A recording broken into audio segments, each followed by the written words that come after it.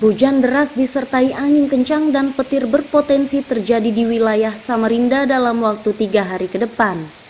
Dalam masa itu, warga dihimbau lebih waspada, terutama pada daerah rawan banjir.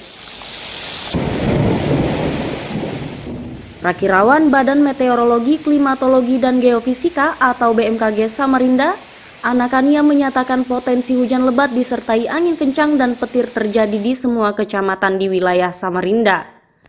Potensi tersebut dipengaruhi pertumbuhan awan cumulonimbus di wilayah udara Indonesia. Sedangkan Laut Sulawesi ditaksir aman dari gelombang tinggi hingga beberapa hari ke depan.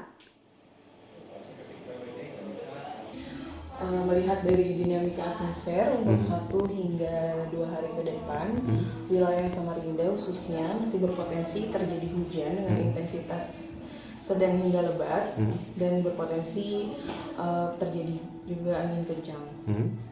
Kemudian untuk kondisi khususnya di Samarinda wilayah-wilayah mana pada paling banyak terdampak, Pak? Maksudnya kecamatannya atau apa? Atau seluruh kecamatan? Uh, hampir seluruh wilayah kota Samarinda. Hampir seluruh kota Samarinda ya.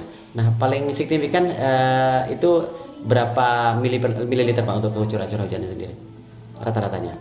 Uh, itu uh, kita hanya bisa memberikan perkiraan itu intensitasnya mas jadi intensitasnya tadi dari mulai sedang hmm. hingga lebat hmm. sedang itu biasanya dari di atas 20 mm hmm.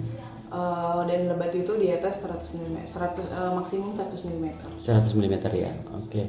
dengan kondisi cuaca seperti ini apa berpengaruh dengan perairan kita mbak khususnya gelombang tinggi atau gimana kalau dari data kami untuk gelombang di Selat Makassar bagian tengah itu hmm. uh, dalam kategori rendah di mana hmm. tingginya hanya 0,5 sampai hmm. 1,2,5 meter. Sensitif ya? Iya, maksudnya pertanyaan yang untuk mendapatkan informasi tentang cuaca ini, warga dihimbau untuk melihat perakiraan cuaca atau peringatan dini melalui situs resmi BMKG.